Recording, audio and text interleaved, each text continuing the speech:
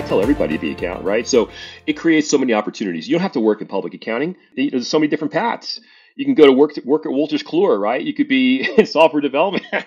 you could be running you could be running webinars you could be doing you could be there's so many opportunities today so we hire yes we still hire a tremendous amount of traditional accounting grads and I tell these young kids today, I said, look, audit may not be your thing, tax may not be your thing. Maybe you're going to want to do cybersecurity work. Maybe you're going to want to work on my data team. So by being involved in the accounting profession today, it opens up so many other opportunities. I, just think whatever you define as fun, I think you're going to see it within a CPA firm. You know, if I'm advising a high school kid today that's looking for a major uh, in school, I would say go down the accounting path and but also couple it up with technology or couple it up with something else to become that much more valuable today.